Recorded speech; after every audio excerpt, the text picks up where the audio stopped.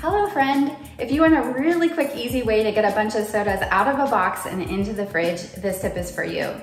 So I don't like putting the whole box of sodas into the fridge because then as it gets lower, I'm reaching way in to pull them out. And I don't like pulling them out one by one because it just takes a long time. So a friend was over and saw how I empty my cans into the fridge and she said, oh, that's a really quick way to do it. So I thought, you know what, I'll share it with you in case it saves you a little bit of time every time you load sodas.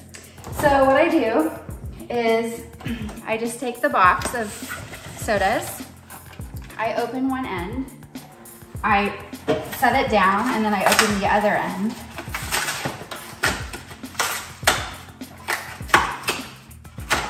And then I just push them all in.